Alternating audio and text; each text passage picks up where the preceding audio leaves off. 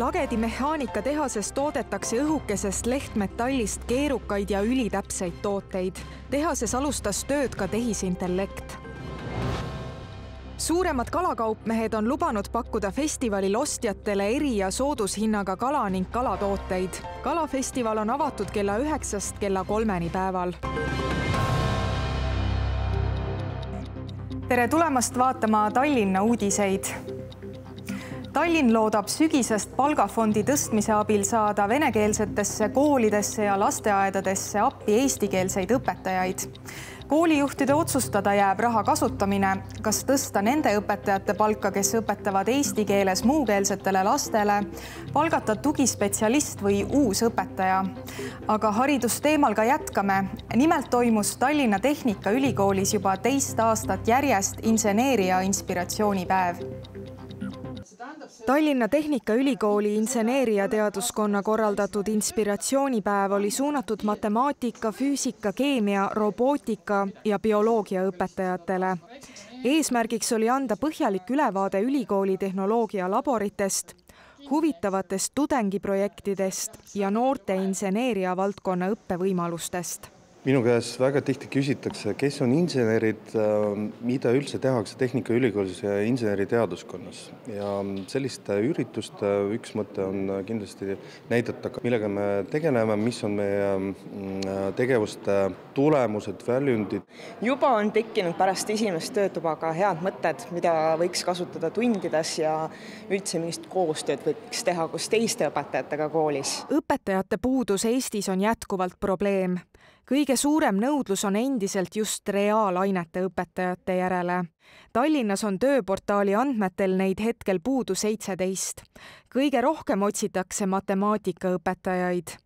lootust on, et tulevikus olukord paraneb, sest Tallinna Ülikoolis õpib matemaatikaõpetaja magistriõppe õppekaval hetkeseisuga viiskümmend seitse üliõpilast. kui suurt huvi tunnevad aga õpilased ise reaalainete vastu? ma arvan, et järjest enam tegelikult, et saadakse aru, et äh, seda on järjest rohkem ja rohkem vaja. näiteks äh, teen ka füüsikaringi, et alustasin kolme õpilasega, tänaseks on neid väga palju rohkem. minu arvates võiks ikkagi olla suurem, et äh, pigem kaldutakse humanitaarainete või siis selliste kunstiliste loovate ainete juurde. mis seda huvi, indu võiks juurde tekitada näiteks? kindlasti ka see, kuidas me õpetame, võiks nagu muuta, et see ei oleks tühi teooria kui selline, vaid rohkem praktilist asja võiks olla juures ja päriselt selgitada võiks ka, et äh, mida tehakse erinevatel erialadel ja milleks on üldse vaja meil looduse reaalaineid sellest, kuidas teooriat praktikasse rakendada, räägiti ka Tallinna Tehnikaülikooli inspiratsioonipäeval Lagedil avati moodne mehaanikatehas, kus alustasid tööd ka uued, enam kui kaks miljonit eurot maksnud täisautomaatsed tootmisseadmed, sealhulgas Baltikumis unikaalne tehisintellektil toimiv robottöökeskus. päris ilma inimesteta ei saa ka kõige tänapäevasem tehas hakkama. ehkki nüüd on metallitööliste asemel pinkide operaatorid tänapäevases metallitehases ei pea töötama ainult mehed, vaid võivad töötada ka naised nende kõrval. eks ta on tegelikult on päris keeruline sellist äh, oskustöölist leida, et äh, pigem äh, leiame särasilmseid, kes soovivad teha ja siis koolitame. Lagedi tehas on tänu uutele masinatele kiire reageerima turusoovidele. siit tulevad nii ventilatsiooni kui muud lehtmetallist ülitäpsed tooted eesmärk on mitte niivõrd inimtööjõust lahti saada, kuivõrd tema tööd tulusamaks teha. The long trend is of course that less and less people is producing more and more value. And we even have a specific uh, KPI, a measure for that, a net added value per hour. And that is of course uh, really important that the net added value per, per employed hour is increasing. It doesn't have to be dramatically, but over time we have to be more and more efficient. masinapargis on siis lõikamismasinad, siis on painutusmasinad, värviliin ja ka muidugi siis äh, nii-öelda pressimasinad ja koostamisosakond. meil sai soetatud eelmine aasta siis neli uut masinat ja selle investeeringu suurus on olnud üle kahe miljoni eurot. Lagedi tehases on esimest korda kasutusel ka tehisaru see püüab robotkäe tegevusi optimeerida ja on mitmeid kordi kiirem kui inimene. ainuke, mida inimesel teha tuleb, on talle toormaterjal ette anda. Initioni Eesti tehased pakuvad tööd saja kaheksakümnele inimesele Tallinnas avati avalikud veekraanid, kus saab tasuta värsket ja puhast joogivett kuni septembri lõpuni. kokku avatakse suvehooajaks pealinnas ligi kuuskümmend avalikku veekraani suvel kuumade ilmadega suureneb vajadus vee tarbimise järele ja hea, kui on läheduses mõni avalikuks kasutamiseks mõeldud veekraan. Tallinna Vee tegevjuht Aleksandr Timofejev kinnitab, et sellised kraanid leiavad aktiivset kasutamist tervisesportlaste kui jalutajate poolt olemasolevatele kraanidele tuleb tänavu lisa. sellel aastal me proovisime juba äh, aprilli keskel lahti teha kõik need äh, kraanid, mis meil üle linna on. Neid on täna rohkem kui kuuskümmend tükki selle aasta jooksul tulevad veel juurde, ehitame neid kesklinna, ehitame neid äh, põhimõtteliselt nagu sinna, kus me rajame uusi torustikke, näiteks Lastekodu tänavale, Karli puiesteele, äh, Putuga väljale tulevad uued kraanid. Rahvas teeb üha rohkem vabas õhus sporti ja jalutab lemmikloomadega. ja kui on läheduses mõni kraan, kus saab joogipudeli enda või looma tarbeks täita kraanivesi on väga hea kvaliteediga, kõik saavad aru, et see on keskkonnasõbralik äh, eluviis, see on keskkonnasõbralik vesi, mis tuleb kraanist ja on see väga-väga hea kvaliteediga. ja ma arvan, et äh, kümme aastaga on olnud väga suur areng, kui me alustasime, siis neid kraane oli hästi vähe. avalike joogikraanide paigaldamine vajab raha, seda on saadud linna kaasavast eelarvest kui välismaalt. Põhja-Tallinnas hiljuti avatud kraanid said teoks tänu Norra kuningriigi rahadele. avamisel viibis ka Norra kuningriigi suursaadik Eestis Maarjus Viirdaal. Tallinna Keskkonna- ja Kommunaalameti esindaja Kalle Pint märgib, et tööd jagub. olid ajad, kui avalikud veekraanid olid Tallinna tänavapildis tavalised. kõik uus on äh, tegelikult unustatud vana, et ega siis äh, ju linnakeskkonnas joogiveevarustus algaski joogiveekraanidest, me oleme siis ringiga jälle tagasi jõudnud sinna, et, et joogiveekraane kasutada. Tallinna Vee tegevjuhi Aleksandr Timofejevi sõnul kontrollib Tallinna Vesi pidevalt joogivee kvaliteeti. aastas võetakse üle kolme tuhande proovi Fotograafiskas on avatud uus näitus, mis teeb tagasihüppe tuhande üheksasaja viiekümnendate aastate kuldajastusse? Näitusel on esindatud Carrie Lashi klassikaks kujunenud fotod Pablo Picassost, Sofia Lorenist, Salvador Dalist, Brigitte Bardot'st ja teistest maailmastaaridest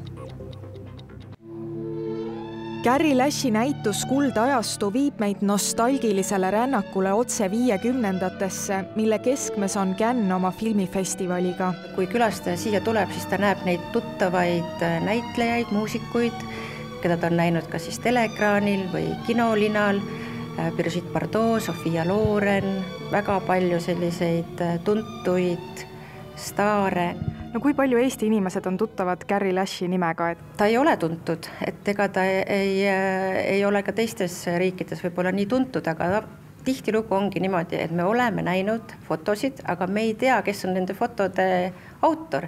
nii et äh, tegelikult ka Carri enda poolt jäädvustatud äh, fotod, mida väga paljud inimesed on kindlasti näinud äh, Pablo Picassost näiteks, on tema tehtud. Carri Lash sündis esimesel veebruaril tuhat üheksasada neliteist Prahas. Ta alustas pildistamist juba noorena julge ja avatud loojana võitles ta hetkede eest, mida soovis tabada ning tänu sellele jõudsid paljud tema fotod ka oluliste rahvusvaheliste ajakirjade kaantele. Äh, ta oli suur maailmarändur, ta oli väga-väga suurepärane suhtleja, selline väga ekstsentriline, energiline, aga, aga mulle tundub, et siiski ka natukene võib-olla üksik selline üksik hunt, need inimesed, keda me siin äh, ka piltidel näeme, et need olidki nii-öelda tema sõbrad, nagu näiteks Sofia Loren koos oma ka, abikaasaga. et need olidki nagu tema sellised lähimad, lähimad sõbrad ja tuttavad. Carri jaoks tähendas Scan nii kolmekümne aasta pikkust kirge kui ka elatise teenimise võimalust see oli tema jaoks keskkond, kus ta tundis end nagu kala vees, sest igal nurgal terendas mõni uus seiklus kuna ta ise oli väga karismaatiline isiksus, siis ta ka leidis nende karismaatiliste isiksustega sellise hea kontakti ja sai nad fotodele, nii et meil on palju selliseid fotosid, kus vaatavad inimesed otse kaamerasse. näitus Kuldajastu jääb Fotograafiskas avatuks kuni septembrini. sel laupäeval toimub Tallinna kalaturul iga-aastane kalafestival. Festival on toimunud juba enam kui kümme aastat ning paljud Eesti kalurid ja kalamüüjad on sündmust väisanud selle algusaastatest alates. kaupmeeste seas on kalureid, kes ka ise kala püüavad, seega saavad nad pakkuda parima hinnaga kala kui kokkuostjad Mustamäel tegutsev Pepe Kala on festivalil osalenud algusest peale. kodumaise kala kõrval pakutakse ka Skandinaavia kasvanduste loomust. Eestimaist kalu on vähe, aga enamus kala meil tuleb Soomest. siig, forell, lõhe. koha on see, mis läheb väga hästi peale Eesti kaladest. turule tasub sammud seada varakult. esimestel on valik suurem. Liivi lahel on kevadine räimehooaeg ja seda kala on alati nõutud hommikupoole on kindlasti kiluräim värske ja siis on forell, lõhe, igal ühel oma maitse selles suhtes. kiluräim on läinud sihuke nelikümmend kilo, forellifileed, lõhefileed on läinud kumbagi kuskil kakskümmend kilo ära. aga täpselt jah, iga aasta erinev kala ostmisel tasub jälgida muudki, näiteks forellil või lõhel tuleb vaadata siia lõpuse taha. kui on punane, on tegemist värske kalaga. Raul näitas, kuidas käib fileerimine. õppinud mehe käes läheb kõik kiiresti, selleks on oma nipid. oluline on tulemus, saada luudetav filee. võtan võimed maha. siis lähen keeran teistpidi ta, et oleks lihtsam võtta teda. sõidad sisse Kallasadama turul algab kauplemine laupäeval kell üheksa ja menu kestab kella kolmeni. kas teadsite, et Koplis tegutses keskajast alates tellisetehas ning Kalamaja muuseumis näebki selles tehases valmistatud kolmesaja aasta vanust tellist nimelt uus näitus Kopli maagiline realism viib jalutuskäigule läbi Kopli ajaloo. Näituselt saab vastused ka küsimustele, miks on Koplis palju värvilisi klaasikilde, mis lugu jutustab kulunud nukumööbel? Ning mida kirjutas Saksa sõjavang kodustele, kes Koplis raudteed ehitas? Näitus avab Tallinna ühe omapärase asumi erilisemad hetked lood on kirja pannud siinsed asukad ise. imponeeriv on lugu šimpansist. tuhande üheksasaja üheksakümnendatel aastatel olevat tänavatel jalutanud šimpans Pidžeta ja saatnud möödujatele akna kaudu õhumusisid. lugu Pidžetas sündis üheksakümnendate aastate lehelugude põhjal. Need otsiti arhiivist üles ning meenutus ongi külastajatele lugemiseks. väljapaneku nimi Maagiline realism sündis kuraatori ja kujundaja omavahelistes vestlustes. otsime neid erilisi hetki või või aja, kas ajaloost või ka tänapäevast, mis siis seda argisust või siis erilisust äh, tähistavad. külastajatel on väljas paarkümmend erinevat lugu ja neile oodatakse lisa. näitus on avatud kaks aastat ega siia kõiki loomulikult ei mahtunud ja näitus on kindlasti ka üsna subjektiivne vaade Koplile, et see on nii minu kui minu näituse kujundaja eh, nii-öelda kogemustest pärinev, me oleme neid mingisuguste inimestega koos kinnitanud, et nad on üle rääkinud need lood nii et tegelikult me ootame, et inimesed siia näitusele kindlasti oma lugusid lisaksid, selleks on eraldi koht olemas. kalamaja on kogukonnamuuseum, kus pinnaka ei saa priisata. uue väljapanekuga ei pidanud põhiekspositsiooni koomale tõmbama. ruum, kus äsjane näitus avati, on ette nähtud kogukonna liikmete näitusteks. sinna kunagi ükski muuseumitöötaja näitust ei tee, vaid me annamegi võimu kogukonda ja sealt tuleb üks inimene, nüüd tuli Koplist Hannele, kes siis selle näituse kokku pani ja kõigile vaatamiseks välja pani. mis teeb Koplist Kopli? Vastuse saab näituselt. see keskkond, see segu sellest äh, loodusest, mis on tegelikult nii lähedal kogu aeg olemas ja sellest äh, karmist tööstusest ja sellest ajaloost, mis sealt on läbi käinud. ilm läheb tasapisi soojemaks. keskkonnaagentuuri ilmaprognoosi järgi sajab lähipäevil mitmel pool küll vihma, kuid sooja tuleb kakskümmend üks kraadi. vaatame otsa ka Tallinna ilmateatele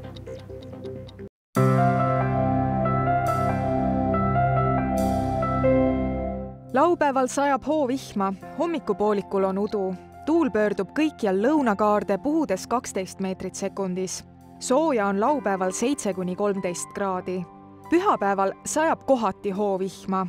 tuul pöördub idakaarde, puhudes kaks kuni kaheksa meetrit sekundis. sooja on pühapäeval kümme kuni kaksteist kraadi. esmaspäeval sajab kohati hoovihma, puhub lõunakaare tuul kolm kuni üheksa meetrit sekundis sooja on esmaspäeval seitseteist kuni üheksateist kraadi tänaseks kõik, aitäh, et vaatasite Tallinna uudiseid. meie lugudele saate pilgu peale heita ka Youtube'i Linnameedia kanalis. kohtumiseni.